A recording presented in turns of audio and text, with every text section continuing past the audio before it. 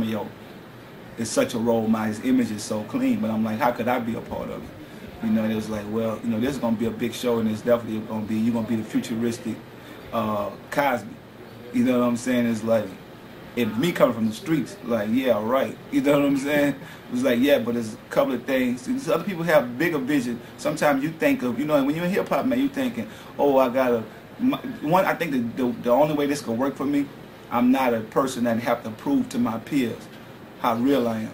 They know how real I am. You know, I'm from the streets. I live on the streets, and I looked at people that's turned successful, that was able to change their life and be from the streets.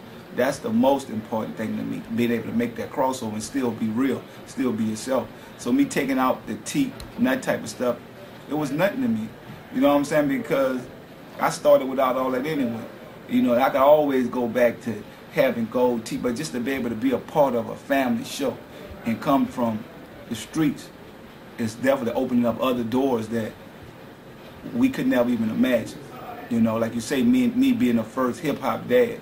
You know, because you got a lot of us out there, but it's not respected because you feel, oh, you're in the rap business. You know, you ain't supposed to be a father. But, you know, we take care of our kids. You got guys out there on the streets hustling, taking care of their kids. You got people hustling to take care of their kids. You know, they got they got people out there committing crimes to take care of their kids. They'd rather go do life in prison to make sure their kid have a bike or a good Christmas or something. You know, so I mean, we always been taking care of our kids, but it, it never was put out there because we didn't know how to do it on a larger scale. And with me being on this Nickelodeon channel and being the first hip hop dad and me and Romeo together, the first hip hop family, you know, to me, that's opening up other avenues with. I'm trying to teach kids that you can still be real you could still be duck. You, you could still be thugging. You could still be gangster and still be yourself. And you don't. You can mature. You know what I'm saying? It's like all the other people out there that after time go by, you know, people look at that term. Oh, I'm hard. What? You hard? You done got shot or you in jail? That don't make you hard. You hard when you can survive that. You hard when you can make it out of the ghetto. You know, that's what I consider myself as being hard. You know what I'm saying? I was able to make it out. And that to me, that's when you real when you can take your mom out the hood, take your grandmother out the hood, you could take their kids out the hood, you know what I'm saying? You could take some of your friends out the hood. Oh, you hold. You know, and that's what this Nickelodeon show is about, and that's what the Romeo show is about. I mean, we want our people to watch this. I, I mean, I mean, even always that zoom in the BET. You know, on Saturdays, go go to Nickelodeon White Show. This is something special. It's special for our people. This to me, this is crossing over. This is when Rosa Parks get off the bus. This this for real. This us crossing over in a different market to say, wow, we can make change. We can be the best people we could be. And we still could come from, you can't let our environment dictate where we at in life. You know what I'm saying? And that's what I'm doing. I'm not afraid to show people, oh yeah, you know what? I'm always love BET. I'm always love my fans. But if I could take it up a step higher and better myself and better my life, my family, and think about the future, go for it. Don't be afraid of that. You know what I'm saying? Don't be afraid of a challenge to say, you know what, you can't make something better out of your life. You know, don't just think, oh, I got to be this hardcore rapper all my life. For what? You know, as you mature, I mean, be honest, the thing about me, my music is never going to change. I think everybody got two sides to them. There's a good side and a bad side. And I, I think you can push a cat up against the wall, they say he going to scratch. You know what I'm saying? And I and that's that's gonna be the title of my next album. It's called The Good Side and the Bad Side. You know what I'm saying? Uh, you see this side of me, but you press this button, you see another side of me. And that's just, that's to me, it's called survival. You know what I'm saying? And you got, to me, it's about respect. You got to respect people no matter what, what they are. Whether you're on TV, whether you're really living in the real world, you know, whether you play, you're an athlete. I mean, people got to stop disrespecting people that's trying to make an honest living. You know, so what? You don't want to stand out there and sell drugs. That's a smart person to me. You know, a dumb person say, "I'm gonna stand on a cone." To, eh, eh, you know, at the end of the day, man, that's that's a bad living. You know, because it come to an end. It come to an end. So you know, for all the kids out there, you know, we definitely taking it to another level. Well, like we taking hip hop to another level. You know, at, at, first we changed the game where we start showing people that hip hop people could take care of their business and make money. And now we showing people that hip hop can be a part of this multicultural you know, and that's what this show is. This show is for everybody. It's not just for blacks. It's for whites. It's for Latinos. It's for uh, Asians. It's for everybody. You know, and, and, it's a blessing.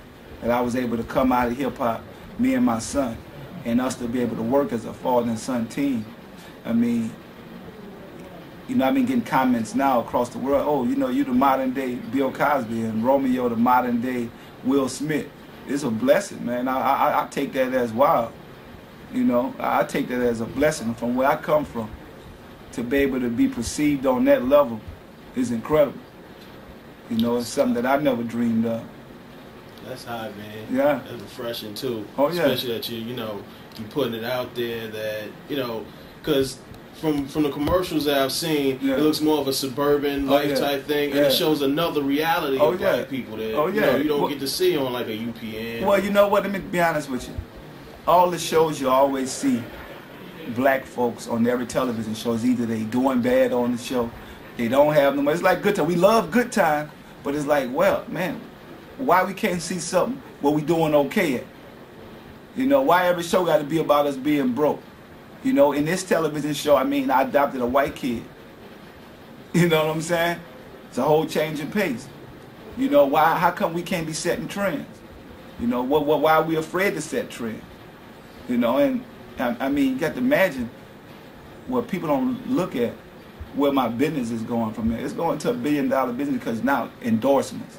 We're looking at uh, uh, uh, different type of collections, whether it's toys, whether it's uh, uh, dolls, stand-ups, uh, clothing, merchandising. I mean, this this is for our people. This is an incredible opportunity. We definitely be able to make changes in the community from this show. You know. Now we're doing a piece on um, on Aretha Franklin because she's Mhm. being honored at, at our Walk of Fame. Mhm. Like, what's your favorite Aretha Franklin song? Oh man, Aretha Franklin got so many songs that uh, I would have to think of what would be my favorite. Um, wow, Aretha Franklin is such an incredible artist. I mean, I like that loud verse that she got. Uh, I'm trying to think of this one song that I really like. Um,